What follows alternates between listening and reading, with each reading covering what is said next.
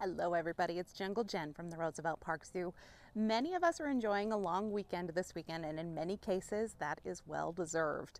I'm thinking of our teachers and our parents and our kids who are learning a brand new approach to school.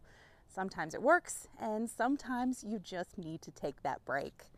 We've talked a lot about our training sessions over the last couple of weeks. It's amazing what our keepers and our animals can accomplish together, all with positive reinforcement, all for a voluntary veterinary goal it takes a lot of practice and it takes a lot of patience. Ready, bud? We're going to join Keeper Ryan and Keeper Bailey again today on the North Trail, this time with our sheep. We have three sheep. Noah is almost nine. He was born during the 2011 flood. Get it? Noah flood. The girls are a little bit younger, but not by much. That's Dorothy and Irene. And what you'll see is that Noah is excited to train. He's excited to show off even his newest behavior and going to find the star. You got the star? Awesome. Awesome possum. The girls are a little apprehensive today. You can watch Keeper Ryan. He just walks them in a circle and he'll try again tomorrow. Because sometimes you just need the break. Noah, target.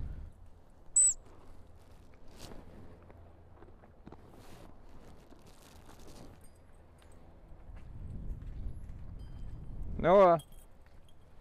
Halter. Hold. Good job. Star.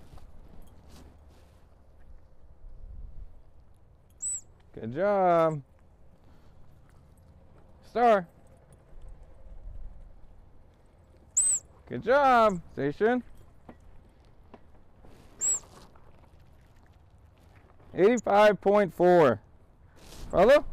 Especially animals that need like medical procedures done or if it's like an annual thing they need done. Like these guys need hoof trims plus um, they get petting zoo pelts so it's nice to stay on their, their weights.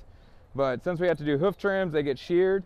Um, like Noah, he jumps in his halter, he picks up his hoof for us, uh, just making everything easier for us. Good job, bud. Swords.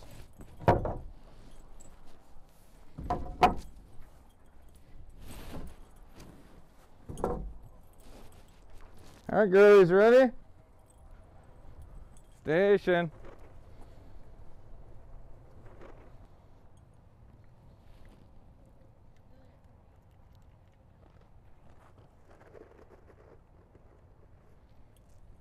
Target? You weirded out today?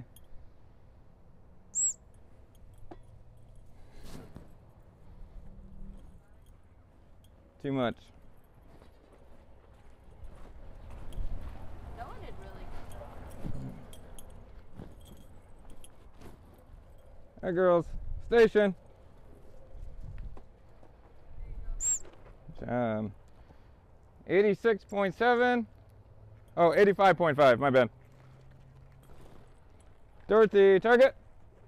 Good job. Irene, target. Touch. Touch.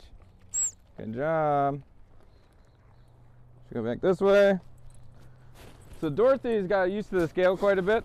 Um, and then Irene's still getting used to it. We did actually get her on the scale last month. Yeah, and uh, so we got our fir first weight on her in a long, long time. And then Noah, he's just a pro at it and all that. So. So remember, practice and patience will go a long way. Look all good. All done. But so does taking a break. Happy Easter. I'm Jungle Jenn. We'll see you at the Roosevelt Park Zoo.